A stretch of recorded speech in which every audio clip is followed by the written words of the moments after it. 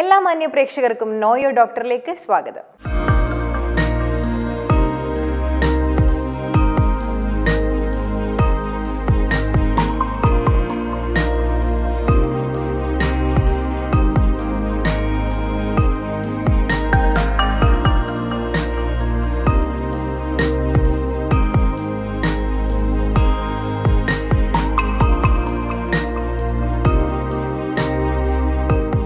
നമ്മൾ എപ്പോഴും കാഴ്ച നഷ്ടപ്പെടുമ്പോൾ മാത്രമേ പലപ്പോഴും കണ്ണുകളെപ്പറ്റി ആലോചിക്കാറുള്ളൂ. നമ്മുടെ പ്രമേഹം ക്രമാതീതമായി അതിക്രമിച്ചു കൊണ്ടിരിക്കുന്ന ഒരു കാലഘട്ടത്തിലാണ് നമ്മൾ പോയിക്കൊണ്ടിരിക്കുന്നത്.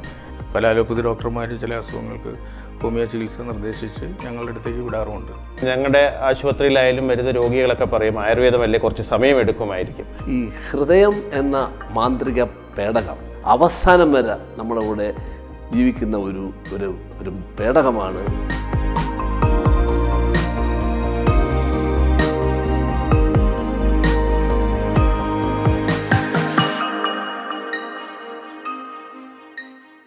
നേത്ര സംബന്ധമായ എല്ലാ സംശയങ്ങളും തീർക്കാനായി ഇന്ന് നമ്മോടൊപ്പം ഉള്ളത് റീജിയണൽ ഇൻസ്റ്റിറ്റ്യൂട്ട് ഓഫ് ഓപ്തമോളജിയിലെ രാജീവൻ ഡോക്ടറാണ്. സാറിന് ഈ എപ്പിസോഡിലേക്ക് സ്വാഗതം ചെയ്യും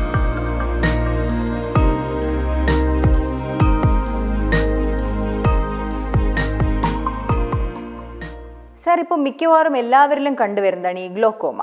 അതിനെക്കുറിച്ചൊന്ന് പറയാമോ? ഗ്ലോക്കോമ എന്ന് പറയുന്ന കണ്ണിന്റെ അസുഖം അതിന്റെ മലയാളത്തിൽ തർജമ നേത്രാതിസമ്മർദ്ദം എന്നാണ്. നമുക്ക് രക്തത്തിൽ പ്രഷർ ഉള്ളതായിട്ട് എല്ലാവർക്കും അറിയാം. അതുപോലെ നമ്മുടെ കണ്ണിലും പ്രഷറുണ്ട് നമ്മൾ ജീവിച്ചിരിക്കുമ്പോൾ ആരോഗ്യത്തോടെ ഇരിക്കുമ്പോൾ നമ്മുടെ കണ്ണുകൾ നല്ല തിളങ്ങുന്നതായിട്ട് കാണുന്നത് നമ്മുടെ കണ്ണിനകത്തൊരു പ്രഷർ നിലനിൽക്കുന്നുണ്ട്. അത് നോർമൽ ലെവലിൽ നിൽക്കുന്നതുകൊണ്ടാണ്. ഈ പ്രഷർ പല കാരണങ്ങൾ കൊണ്ട് വർദ്ധിക്കും. അങ്ങനെ കണ്ണിനുള്ളിലെ പ്രഷർ വർദ്ധിക്കുന്നത് കൊണ്ട് കാഴ്ച ഞരമ്പിനുണ്ടാകുന്ന തകരാറ് കൊണ്ട് കാഴ്ച നഷ്ടപ്പെടുന്ന രോഗാവസ്ഥയാണ് ഗ്ലോക്കോമ ഈ ഗ്ലോക്കോമ തന്നെ പല രീതിയിലാണ് ഒരാൾക്ക് പിടിപെടുന്നത്. ഒരു രീതി എന്ന് പറഞ്ഞാൽ ജന്മന ഉണ്ടാകുന്ന കൺജനിറ്റൽ ഗ്ലോക്കോമ ജുവനൈൽ ഗ്ലോക്കോമ ജനിച്ച് പത്ത് പന്ത്രണ്ട് വയസ്സിനുള്ളിൽ കണ്ണിലെ പ്രഷർ വർദ്ധിച്ചുണ്ടാകുന്ന ഗ്ലോക്കോമ പിന്നെ പ്രായം നാൽപ്പത് വയസ്സ് പിന്നിടുമ്പോൾ ഉണ്ടാകുന്ന ഗ്ലോക്കോമ ഇങ്ങനെ പല രീതിയിലാണ് ഗ്ലോക്കോമ രോഗം മനുഷ്യന്റെ കണ്ണുകളെ പിടിപെടുന്നത്. ഈ ഗ്ലോക്കോമ തന്നെ രണ്ട് രീതിയിൽ പ്രസന്റ് ചെയ്യും. ഒന്ന് ഈ രോഗിക്ക് കണ്ണിന് പ്രത്യേകിച്ച് ഒരു രോഗലക്ഷണങ്ങളും ഇല്ല. നാൽപ്പത് വയസ്സ് കഴിയുമ്പോൾ കണ്ണിന്റെ കാഴ്ച മങ്ങലിന് വേണ്ടി ഒരു ഡോക്ടറെ സമീപിച്ച് കാഴ്ച പരിശോധന ചെയ്യുമ്പോൾ അദ്ദേഹം കാഴ്ച പരിശോധനയ്ക്ക് ശേഷം കാഴ്ച ഞരമ്പിനെ വിശദമായി പരിശോധിച്ച് നോക്കുമ്പോൾ കണ്ണിൽ പ്രഷർ വർദ്ധിച്ചിട്ടുണ്ട്. പ്രഷർ വർധന കൊണ്ട് കണ്ണിന്റെ കാഴ്ച ഞരമ്പിന് ക്രമേണ കേടുപറ്റുന്നു എന്ന് കണ്ടുപിടിക്കുമ്പോഴായിരിക്കും ഒരുപക്ഷെ ആ രോഗി ഗ്ലോക്കോമ രോഗിയാണെന്ന് നമ്മൾ തീരുമാനിക്കുന്നത് അല്ലെങ്കിൽ ഡയഗ്നോസ് ചെയ്യുന്നത്. ആ അത്തരം ഗ്ലോക്കോമയുടെ പേര് സിമ്പിൾ ഗ്ലോക്കോമ ക്രോണിക് ഗ്ലോക്കോമ എന്നാണ് പറയുക പിന്നെ വേറൊരു ഗ്രൂപ്പ് ആളുകൾക്ക് രോഗലക്ഷണങ്ങൾ ഇല്ലായകയില്ല. വൈകുന്നേരം ആകുമ്പോൾ കാഴ്ചയ്ക്ക് ചെറിയ മങ്ങൽ തോന്നുന്നു. തുടർച്ചയായി വായിച്ചുകൊണ്ടിരുന്നാൽ കണ്ണിന് വേദനയും തലവേദനയും വരുന്നു. പിന്നെ ഒരു ഇലൂമിനേറ്റഡ് ബൾബിലേക്ക് നോക്കുമ്പോൾ അല്ലെങ്കിൽ നിലവിളക്കിന്റെ തിരിയിലേക്ക് നോക്കുമ്പോൾ ആ തിരിന് ചുറ്റും മഴവില്ല് പോലെ ഗോളങ്ങൾ കാണുന്നു. ഇങ്ങനെയൊക്കെ സിംറ്റംസ് ചില രോഗികൾക്ക് പറയും. അവർ ഒരു ദിവസം പെട്ടെന്ന് കണ്ണിൽ വേദന കണ്ണിൽ ചോപ്പ് കണ്ണിൽ നിന്ന് വെള്ളമൊലിക്കൽ കാഴ്ച മങ്ങൽ ഇത്രയും സിംറ്റംസുമായിട്ട് ഡോക്ടറെ സമീപിക്കുമ്പോൾ ഛർദിൽ തുടർച്ചയായ ഛർദിൽ മരുന്ന് കഴിച്ചാൽ മാറാത്ത ഛർദിൽ ഒരു ഇഞ്ചക്ഷൻ കൊണ്ട് മാറ്റാൻ പറ്റാത്ത തലവേദന ഇങ്ങനെയൊക്കെയുള്ള സിംറ്റംസുമായിട്ട് പ്രസന്റ് ചെയ്യുന്ന ഒരു ഗ്രൂപ്പ് ഗ്ലോക്കോമ ഉണ്ട്. അതിനെ നമ്മൾ നാരോ ആംഗിൾ ഗ്ലോക്കോമ അല്ലെങ്കിൽ അക്യൂട്ട് ആംഗിൾ ക്ലോഷർ ഗ്ലോക്കോമ എന്നാണ് പറയുന്നത്. അപ്പോൾ ഈ ഗ്ലോക്കോമ തന്നെ പല രീതിയിൽ രോഗികളിൽ പ്രസന്റ് ചെയ്യും. അത് ഏത് തരം ആണ് എന്ന് നമ്മൾ വിശദമായ പരിശോധനയിൽ കൂടെ കണ്ടുപിടിക്കാൻ പറ്റൂ. പിന്നെ എന്ത് എന്താണ് എങ്ങനെയാണ് ഒരാൾ ഗ്ലോക്കോമ രോഗി ആകുന്നത്? വ്യക്തമായ ഉത്തരം ഇന്നുവരെയുള്ള റിസർച്ചിലൊന്നും കണ്ടുപിടിച്ചിട്ടില്ല. പക്ഷേ ഒരാൾക്ക് ഗ്ലോക്കോമ വരാൻ ഒരുപാട് ഒരുപാട് കാരണങ്ങളുണ്ട്. അതിൽ പ്രധാന കാരണങ്ങൾ ജനിതകമായിട്ടുള്ള കാരണങ്ങൾ ജനറ്റിക് കോൺട്രിബ്യൂഷൻ പിന്നെ കണ്ണിനുണ്ടാകുന്ന മറ്റ് ചില പ്രശ്നങ്ങൾ കണ്ണിന്റെ വളർച്ചയിലുണ്ടാകുന്ന പ്രശ്നങ്ങൾ. ചില ആളുകൾക്ക് ചെറിയ കണ്ണായിരിക്കും ചില ആളുകൾക്ക് സാധാരണക്കാരുടെ കണ്ണിനേക്കാൾ വലിയ കണ്ണായിരിക്കും. അങ്ങനെയുള്ള സിറ്റുവേഷൻസിലൊക്കെയാണ് ഗ്ലോക്കോമ ഉണ്ടാകുന്നത്. അത് പ്രൈമറി ഗ്ലോക്കോമ എന്ന് അതിന് പറയാം. പിന്നെ സെക്കൻഡറി ഗ്ലോക്കോമ എന്ന് പറഞ്ഞ ഒരു ഗ്രൂപ്പുണ്ട് അത് ഒരുപാട് കാരണങ്ങൾ കൊണ്ടുവരാം. കണ്ണിനുണ്ടാകുന്ന മുറിവുകൾ കൊണ്ടുണ്ടാകുന്ന സെക്കൻഡറി ഗ്ലോക്കോമ പിന്നെ കണ്ണിനിലേക്ക് മറ്റ് അസുഖങ്ങൾക്ക് ഉപയോഗിക്കുന്ന മരുന്നുകൾ കണ്ണിലെ പ്രഷർ വർദ്ധിപ്പിക്കുന്നുണ്ടാകുന്ന ഡ്രഗ് ഇൻഡ്യൂസ്ഡ് ഗ്ലോക്കോമ പിന്നെ കണ്ണിൽ സർജറി ചെയ്യുമ്പോൾ കണ്ണിലെ ഉപയോഗിക്കുന്ന കണ്ണിനകത്തേക്ക് ഇഞ്ചക്ട് ചെയ്യുന്ന മരുന്നുകൾ കൊണ്ടുണ്ടാകുന്ന ഗ്ലോക്കോമ പിന്നെ തിമിരം പഴുത്തു പൊട്ടി കണ്ണിന്റെ ഉള്ളിൽ വലിച്ചിറങ്ങുമ്പോൾ ഉണ്ടാകുന്ന ഗ്ലോക്കോമ ഈ ഗ്ലോക്കോമകളെയൊക്കെയാണ് നമ്മൾ സെക്കൻഡറി ഗ്ലോക്കോമ എന്ന് പറയുന്നത്.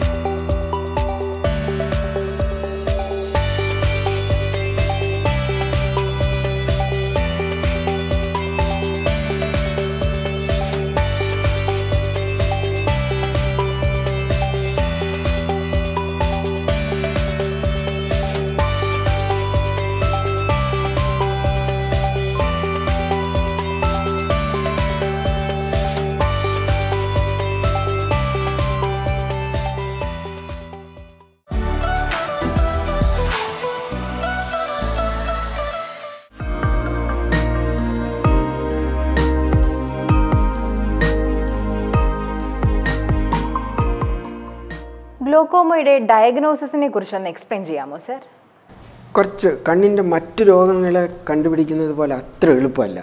ഒരു രോഗി ഗ്ലോക്കോമ ഉണ്ട് എന്ന് കണ്ടുപിടിക്കാൻ. വിശദമായ വ്യക്തമായ പരിശോധനകൾ കൊണ്ട് മാത്രമേ അത് നമുക്ക് ഈ രോഗിക്ക് ഗ്ലോക്കോമയാണെന്ന് തീർച്ചപ്പെടുത്താൻ പറ്റുള്ളൂ. അതിനുവേണ്ടി ഇപ്പോൾ കൺജനിറ്റൽ ഗ്ലോക്കോമ എന്ന് ഞാൻ പറഞ്ഞല്ലോ. എസ് ഐ ടി ഹോസ്പിറ്റലിൽ അല്ലെങ്കിൽ ഏതെങ്കിലും ഒരു സ്വകാര്യ ആശുപത്രിയിൽ ലേബർ റൂമിൽ പിറക്കുന്ന കുഞ്ഞിനെ കുട്ടികളുടെ വിദഗ്ധൻ ന്യൂ ബോൺ നഴ്സറിയിലോ ഐ സി യുവിലോ ഒക്കെ നോക്കുമ്പോൾ കണ്ണിന്റെ കൃഷ്ണമണി കംപ്ലീറ്റ് വെളുത്തിരിക്കുന്നു. സാധാരണക്കാരന്റെ കണ്ണിലെ കൃഷ്ണമണി പോലെ കറുപ്പല്ല. അങ്ങനെ ഒരു സിറ്റുവേഷനിൽ ആ കുഞ്ഞിനെ ആ ഡോക്ടർ നമ്മുടെ അടുത്തേക്ക് പരിശോധനയ്ക്ക് അയക്കുമ്പോൾ നമ്മൾ വിശദമായി പരിശോധിക്കുമ്പോൾ കണ്ണിലെ കൃഷ്ണമണി സാധാരണ കുഞ്ഞുങ്ങളെ പോലെയല്ല എബ്നോർമലാണ് വെളുത്തിരിക്കുന്നു. അതുകൊണ്ട് ഒരു അതിന്റെ ഒരു കാരണം ജന്മനയുള്ള കൺജനിറ്റൽ ഗ്ലോക്കോമ ആയിരിക്കാം. പിന്നെ അക്വേർഡ് ഗ്ലോക്കോമ നമ്മൾ പലതരം പറഞ്ഞല്ലോ. ഇതിന് ഓരോന്നിനും ഓരോ രീതിയിലുള്ള സിംറ്റംസാണ് ഇപ്പം സിമ്പിൾ ഗ്ലോക്കോമ കണ്ടുപിടിക്കണമെങ്കിൽ ഒരു രോഗിക്ക് സിമ്പിൾ ഗ്ലോക്കോമയാണ് അദ്ദേഹത്തിന്റെ രോഗം എന്ന് നമ്മൾ തീർച്ചപ്പെടുത്തണമെങ്കിൽ മൂന്ന് നാല് ടെസ്റ്റുകളിൽ പോസിറ്റീവ് ആയിരിക്കണം. ഒന്ന് പ്രധാനമായിട്ട് കണ്ണിലെ പ്രഷർ സാധാരണ കണ്ണിലെ പ്രഷർ പതിനഞ്ച് മുതൽ ഇരുപത് മില്ലിമീറ്റർ മെർക്കുറി വരെയാണ്. അത് റെക്കോർഡ് ചെയ്യാൻ പല മാർഗങ്ങളുണ്ട് രോഗിയുടെ കണ്ണിൽ തൊടാതെയും തൊട്ടും മെഷീൻ ഉപയോഗിച്ചും യന്ത്രങ്ങൾ ഉപയോഗിച്ചും കമ്പ്യൂട്ടർ ഉപയോഗിച്ചും ഒക്കെ നമുക്ക് കണ്ണിലെ പ്രഷർ റെക്കോർഡ് ചെയ്യാൻ പറ്റും. കണ്ണിന്റെ പ്രഷർ ക്രമാതീതമായി വർദ്ധിക്കുക. അതാണ് ഒരു കാരണം. ഒരു ക്ലിനിക്കൽ സൈൻ പിന്നീട് കാഴ്ച നരമ്പിന്റെ സ്റ്റേജ് പ്രഷർ കുറേ നാൾ വർദ്ധിച്ചു നിൽക്കുമ്പോൾ കാഴ്ച ഞരമ്പിലെ രക്ത സർക്കുലേഷൻ വ്യത്യാസപ്പെടുകയും കാഴ്ച ഞരമ്പിൽ ഗ്ലോക്കോമ കൊണ്ടുള്ള വ്യതിയാനങ്ങൾ ഉണ്ടാവുകയും ചെയ്യും. ഗ്ലോക്കോമാറ്റസ് ഓപ്റ്റിക് കപ്പിംഗ് എന്നൊക്കെ അതിന് പറയുക. അത് നമുക്ക് കണ്ടുപിടിക്കാം. അത് വെറുതെ കണ്ടുപിടിച്ച് പ്രഷർ കൂടിയിട്ടില്ലാത്ത രോഗികളിലും ഈ ഒരു സിംറ്റം ഈ ഒരു സൈൻ നമ്മൾ കണ്ടുപിടിച്ചാൽ അദ്ദേഹത്തിന് കൂടുതൽ കൂടുതൽ പരിശോധനകൾക്ക് വിധേയനാക്കണം. പിന്നെ ഇത് രണ്ടും പോസിറ്റീവ് ആയാൽ അടുത്ത ടെസ്റ്റ് കണ്ണിന്റെ കണ്ണുകൾക്കുള്ള ഒരു പ്രത്യേക പരിപാടി വിഷ്വൽ ഫീൽഡ് എന്ന് പറഞ്ഞൊരു സാധനമുണ്ട്. നമ്മൾ നേരെ ഒരാളെ നോക്കിക്കൊണ്ടിരിക്കുമ്പോൾ അയാൾ നേരെ നോക്കുന്നത് കൂടാതെ ചുറ്റിനുമുള്ളതും കാണാം. അതാണ് നമ്മുടെ വിഷ്വൽ ഫീൽഡ് ഈ ഗ്ലോക്കോമ എന്ന രോഗം ബാധിച്ച ഒരാളിന് ഈ വിഷ്വൽ ഫീൽഡ് ചുരുങ്ങും. വിഷ്വൽ ഫീൽഡ് കൺസ്ട്രക്ഷൻ ഉണ്ടാവും. അത് വർദ്ധിച്ച് വർദ്ധിച്ച് ട്യൂബുലാർ വിഷൻ ട്യൂബിൽ കൂടെ നോക്കുക സിലിണ്ടറിൽ കൂടെ നോക്കുന്നത് പോലെ കാണുള്ളൂ അത് നമുക്ക് കമ്പ്യൂട്ടർ ഉപയോഗിച്ച് ഫീൽഡ് റെക്കോർഡിംഗ് ചെയ്യാൻ പറ്റും. പ്രഷർ വർധന ഓപ്റ്റിക് നെർവിലെ ഡാമേജ് വിഷ്വൽ ഫീൽഡിന്റെ ഡാമേജ് നമ്മൾ ഡിജിറ്റലായിട്ട് കണ്ടുപിടിച്ച് ഈ മൂന്ന് കാര്യങ്ങളും ഒന്നിച്ചു വന്നാൽ ഒരു രോഗി ഗ്ലോക്കോമ രോഗിയാണ്. സിമ്പിൾ ഗ്ലോക്കോമ ക്രോണിക് ഗ്ലോക്കോമ ആണെന്ന് നമ്മൾ തീരുമാനിക്കും. പിന്നെ അതിന്റെ ചികിത്സയിലേക്ക് പോകും. പക്ഷേ നേരത്തെ പറഞ്ഞ പെട്ടെന്നുണ്ടാകുന്ന ഗ്ലോക്കോമ അതുണ്ടാകാൻ ഒരു പ്രോൺനെസ് കണ്ണിലെ വളർച്ച വൈകല്യങ്ങൾ പിന്നെ ഒരു മറ്റ് ശരീരത്തിന്റെ മറ്റ് ഭാഗങ്ങളുടെ രോഗങ്ങളോട് കൂടി വരുന്ന സിൻഡ്രോമിക് ഇൽനെസ്സുകൾ ഇതൊക്കെ വന്നു കഴിഞ്ഞാൽ പെട്ടെന്ന് നമുക്ക് കണ്ണിലേക്ക് നോക്കുമ്പോൾ കണ്ണിന്റെ കൃഷ്ണമണിയൊക്കെ ഇങ്ങനെ സ്റ്റീമി ആയിട്ടിരിക്കും. കണ്ണ് മൊത്തത്തിൽ ചുമന്ന് ബ്രിക്കി റെഡായിരിക്കും രോഗി കണ്ണിനെ നോക്കാൻ സമ്മതിക്കത്തില്ല. വളരെ വേദനയുള്ള അവസ്ഥയാണത്. അതൊക്കെ കണ്ടുപിടിച്ച് കഴിഞ്ഞാൽ നമ്മൾ ഡിജിറ്റലായിട്ട് കൈവിരൽ വെച്ച് കണ്ണിന്റെ മർദ്ദം അളക്കുമ്പോൾ രണ്ട് കണ്ണിലെ മർദ്ദം കമ്പയർ ചെയ്യും താരതമ്യം ചെയ്യുമ്പോൾ അത് ഒരു കണ്ണിൽ കൂടുതലാണ്. ബാക്കി എല്ലാ കാര്യങ്ങളും ഇത് ഗ്ലോക്കോമയാണ് അക്വയർഡ് ഗ്ലോക്കോമയാണ് സിമ്പിൾ ഗ്ലോക്കോമയാണെന്ന് മനസ്സിലാക്കിയാൽ അതിന്റെ ചികിത്സ വേറൊരെണ്ണമാണ്. ഇങ്ങനെയാണ് നമ്മൾ ഗ്ലോക്കോമ രോഗം നിർണയിക്കുന്നത്.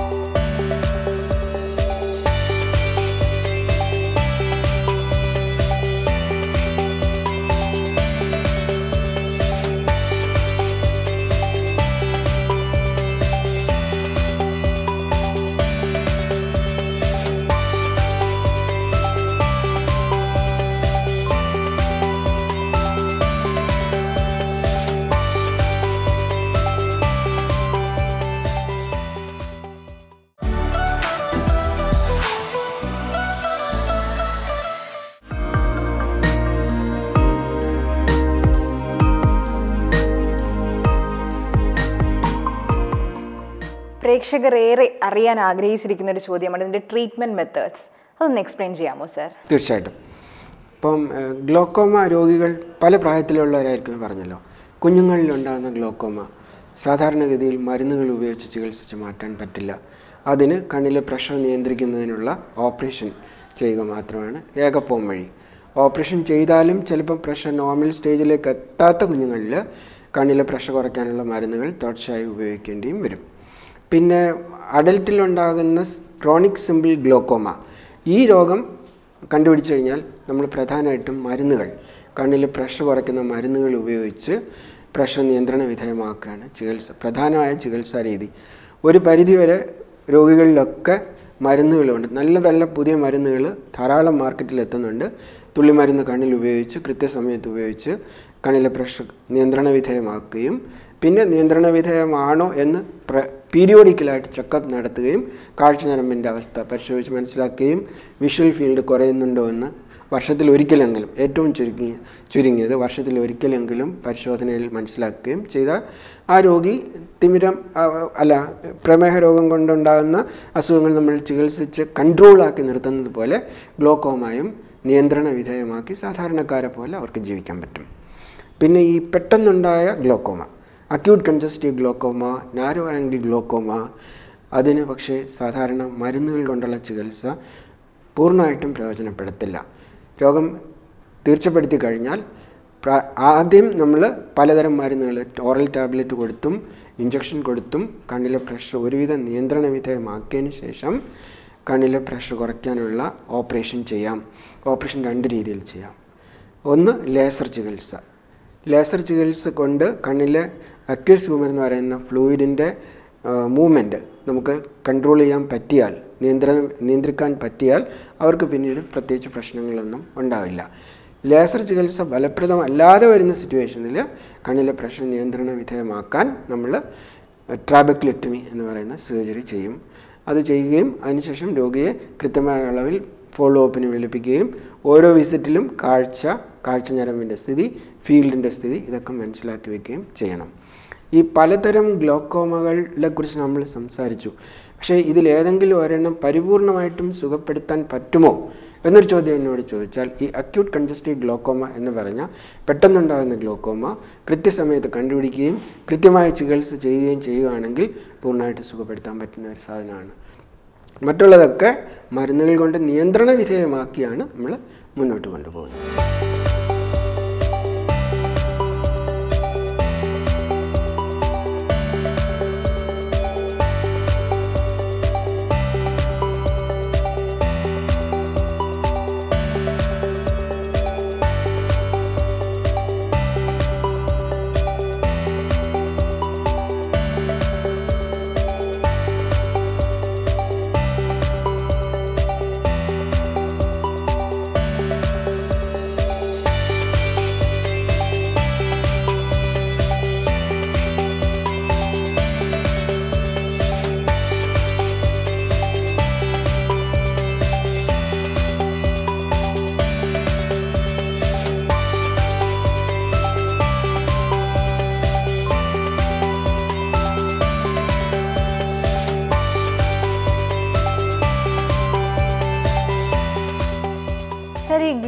വരാതിരിക്കാനുള്ള ഒരു പ്രിക്വേഷൻസ് എന്തൊക്കെയാണെന്ന് പറയാമോ?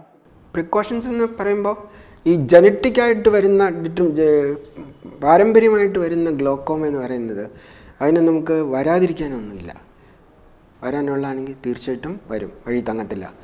പിന്നെ രണ്ടാമത്തെ ഈ അക്വയർഡ് സിമ്പിൾ ഗ്ലോക്കോമയിലെ അത് വളരെയധികം ശ്രദ്ധ കേന്ദ്രീകരിക്കേണ്ട ഒരു ഏരിയയാണ് നാൽപ്പത് വയസ്സ് കഴിഞ്ഞ ഒരാൾ തീർച്ചയായിട്ടും കാഴ്ച പരിശോധനയും കണ്ണിന്റെ പ്രഷർ പരിശോധനയ്ക്കും വിധേയനാവണം.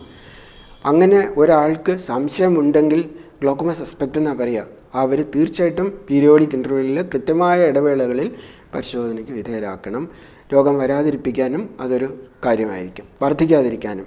പിന്നെ ഈ നാരോ ആംഗിൾ ഗ്ലോക്കോമ എന്ന് ഞാൻ പറഞ്ഞല്ലോ അത് വളരെ ബുദ്ധിമാന്മാരായ ആളുകൾ പ്രത്യേകിച്ച് സ്ത്രീകളിലൊക്കെ ആണെങ്കിൽ അവർ ഇങ്ങനെ ഒരു രോഗം വരാനുള്ള സാധ്യതകൾ ഉള്ള സിംറ്റവുമായിട്ട് നമ്മൾ അടുത്ത് വരും. അതായത് ഈ മഴവില്ല് കാണില്ലേ? കൂടുതൽ വായിക്കുമ്പോൾ തലവേദന കാഴ്ചമങ്ങി വരൽ അങ്ങനെയൊക്കെയുള്ള ആളുകളിൽ നമ്മൾ അവരുടെ ജീവിതശൈലിയിൽ കുറച്ച് മോഡിഫിക്കേഷൻ സജസ്റ്റ് ചെയ്യുക. പിന്നെ സിനിമ ഹാളിലൊക്കെ പോയിരുന്ന് അധിക സമയം സിനിമ വാച്ച് ചെയ്ത് ഇരുട്ടിലിരിക്കുക അങ്ങനെയുള്ള കാര്യങ്ങളൊക്കെ കുറച്ച് ഒഴിവാക്കുക. ഒക്കെ ചെയ്തു കഴിഞ്ഞാൽ ഈ ഒരു രോഗം പെട്ടെന്ന് പിടിപെടാതെ നമുക്ക് സൂക്ഷിക്കാൻ പറ്റും.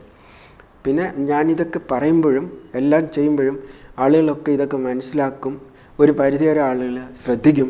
പക്ഷെ ഒരു പരിധിവരെയുള്ള ആളുകൾ ഈ സംഭവം എത്രത്തോളം ആളുകളെ മനസ്സിലാക്കാൻ നമ്മൾ ശ്രമിച്ചാലും ചികിത്സിക്കാൻ ശ്രമിച്ചാലും അവർ ഇതിനൊന്നും വിധേയരാകത്തില്ല. അങ്ങനെയുള്ള ഒരു സിറ്റുവേഷനിൽ ഇതിനെ ചികിത്സിച്ച് മാറ്റാൻ ശ്രമിക്കുകയല്ലാതെ വരാതിരിക്കാനോ വന്ന് പ്രിവെന്റ് ചെയ്യാനോ ഒന്നും നമ്മുടെ കയ്യിൽ ഇപ്പം മാർഗങ്ങളൊന്നും ഇല്ല. പക്ഷേ പുതിയ പുതിയ മരുന്നുകൾ ധാരാളം വരുന്നുണ്ട്. ആ മരുന്നുകൾ കൃത്യസമയത്ത് കൃത്യ രീതിയിൽ കൃത്യമായ രീതിയിൽ ഉപയോഗിച്ചു കഴിഞ്ഞാൽ ഈ രോഗം കൊണ്ടുള്ള കാഴ്ച പ്രശ്നങ്ങളിലൊക്കെ പരിഹരിക്കാൻ പറ്റും ഒരു പരിധി വരെ.